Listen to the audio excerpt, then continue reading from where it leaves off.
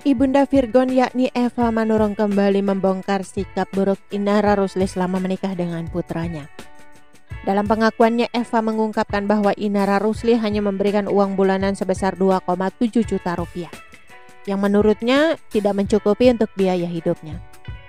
Ketika hidup di Jakarta, 2,7 juta rupiah cukup untuk warawiri dan makan, ucap Eva soal bu uang bulanan sebesar 2,7 juta rupiah dari Inara.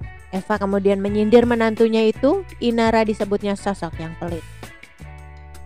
Lantas bagaimana reaksi Inara saat disebut pelit oleh Eva Manurung? Inara Rusli ternyata bersikap santai saat menanggapi tudingan Eva Manurung yang menyebutnya pelit. Inara Rusli pun membenarkan dulu memberikan 2,7 juta rupiah untuk Eva Manurung. Dikutip dari YouTube Sambalala pada Selasa 13 Juni 2023, Inara mengaku besaran uang tersebut berdasarkan kesepakatan keluarga Virgon. Benar, ngasihnya 2,7. Itu kan atas kesepakatan bersama dulu terang Inara. Inara mengatakan bahwa anggaran tersebut ditentukan oleh Virgon tanpa menyebut nama suaminya tersebut. Aku kan hanya menteri keuangan, bukan presiden. Yang nyusun anggaran kan semuanya bapak negara ya jelasnya. Lebih lanjut, Inara juga buka suara perihal sindiran kakak Virgon yakni Feby Carroll yang menyebutkan dirinya adalah sosok kacang lupa kulitnya.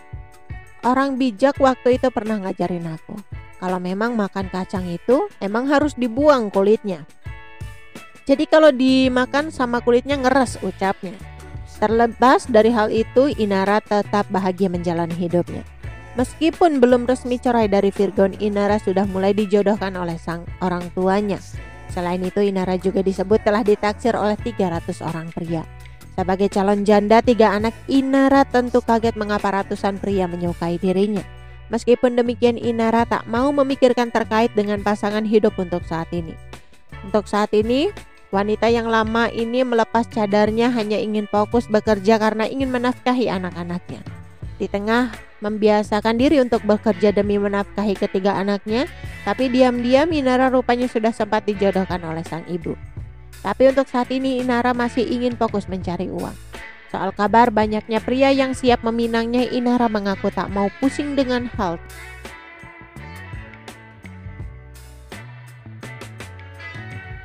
Oke teman-teman itu sedikit berita dari channel vlog berita. Sampai ketemu lagi di berita-berita selengkapnya. Assalamualaikum. Bye